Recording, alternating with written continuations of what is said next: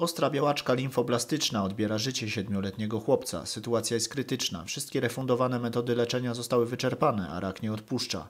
Została ostatnia nadzieja terapia. Potrzebne jest prawie półtora miliona złotych.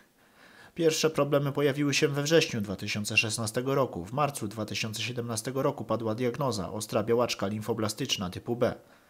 Choroba okazała się bardzo oporna na leczenie, komórki nowotworowe wciąż były aktywne. Oprócz chemioterapii konieczne było wdrożenie dodatkowego leku. W końcu białaczka zaczęła się cofać. Wkrótce lekarze zdecydowali, że Adrian kwalifikuje się do przeszczepu, który odbył się 8 lutego 2018 roku. Synek zaczął szybko stawać na nogi, jego wyniki poprawiły się, wyszliśmy ze szpitala i pojawiliśmy się w nim tylko na wizyty kontrolne. Najpierw co tydzień, później coraz rzadziej. Wszystko wskazywało, że choroba została pokonana. Niestety, rak dał nam trzy lata względnego spokoju, po czym znowu wymierzył kolejny bardzo silny cios w naszą stronę, pisze mama chłopca. Rozpoczął się wyścig z czasem, dlatego stąd, z oddziału onkologii, proszę Was o pomoc. Adrian ma dopiero 7 lat, pisze mama Adriana. Link do zbiórki znajdziesz na portalu wałbrzych24.com.